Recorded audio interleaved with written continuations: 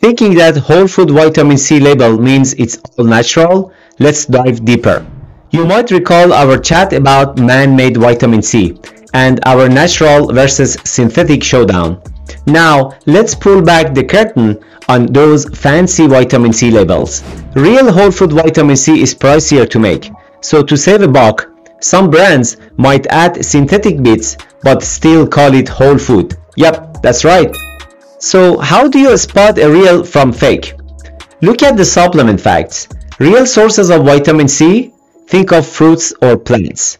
Then look at other ingredients. Fewer items, especially just a capsule or some whole food ingredients, thumbs up.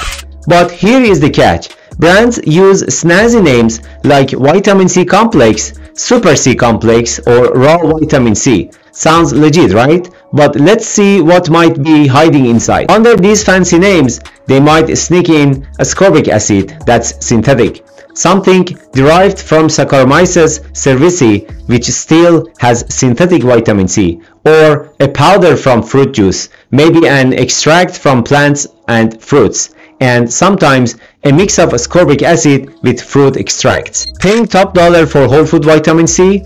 You should get the genuine product, no compromises. We are all about keeping things clear and straightforward. Making the best choices should always be easy. Knowledge is power. Stay sharp, stay informed, and always stay intact.